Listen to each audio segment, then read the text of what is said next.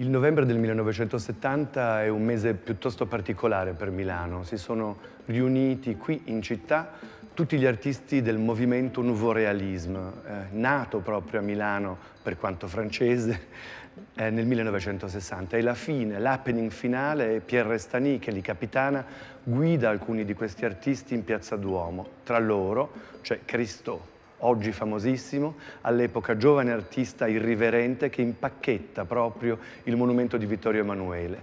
Una sorta di grande protesta non popolare ma politica fa sì che debbano in un qualche modo poi spacchettarlo quasi immediatamente.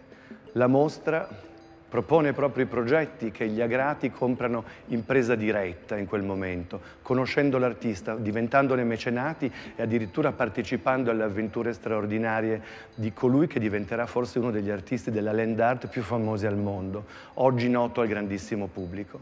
Proprio per gli agrati Cristo prepara dei progetti per il loro giardino che sono qui presenti in mostra e per il loro roseto, una sorta di tende che con la neve d'estate, in primavera, diventa una sorta di astronave, una sorta di momento cruciale dell'arte contemporanea in un giardino borghese che invece così diventa un momento di vita contemporanea. Quando Cristo spacchetta, costretto, il monumento a Vittorio Emanuele, Coprirà quindi in una sorta di grande happening il monumento a Leonardo da Vinci proprio davanti qui alle Gallerie d'Italia. Milano, gli Agrati, l'arte contemporanea e le Gallerie d'Italia, dove tutto si tiene e tutto parla di arte contemporanea nella città e nel mondo.